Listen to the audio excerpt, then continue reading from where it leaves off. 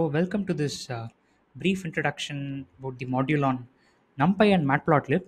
So I'll just walk you through the way we have structured the content in this particular module. So there are going to be five notebooks. Okay. So what we'll do is we'll start with vectors. Okay. The idea of vectors and how we can represent them using NumPy arrays, right? So that's where we'll start. It'll be a very gentle introduction to NumPy arrays. And then what we'll do is we'll shift gears and we'll move to Matplotlib, the plotting utility in Python. And we look at simple line plots, right? How do we plot, say, straight lines? How do we plot parabolas, things like that, right? And maybe some small, simple functions like trigonometric functions and so. Okay, so that is the second notebook.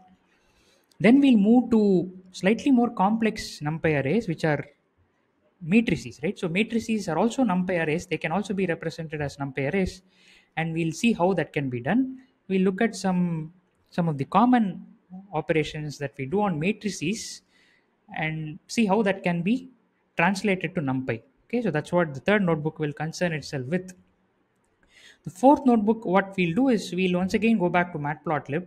We'll see how we can do different kinds of plots, bar plots, scatter plots, histograms, to name the three most important plots we'll be looking at. And we'll, we'll present them from the point of view of statistics, right? So probability and statistics, where we, we are going to sample from some distributions like Bernoulli, let's say Gaussian, or say a Gaussian mixture model, right? Or multivariate Gaussian distribution, right? So when you sample from these distributions, you distributions, you get a collection of points. And what we can do is we can visualize these points or the sample in terms of plots, right? So we could do bar plots for Bernoulli samples from a Bernoulli distribution, and we could do a histogram for samples from a Gaussian distribution, so on, right? So that's what we'll do in the fourth notebook.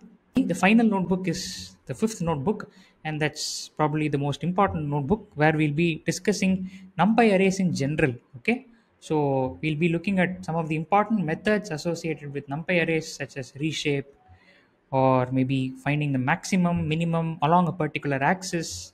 Okay, sorting, argsort. Okay, so these are all some of the important functions that we'll be or methods that we'll be looking at in the final notebook. We'll also briefly discuss certain ideas such as view and copy. How, how do you, what happens when you reshape a NumPy array? Do you create a new NumPy array or are you only, are you copying the data, so on and so forth, right? So these are all some miscellaneous discussions that will happen in the final notebook.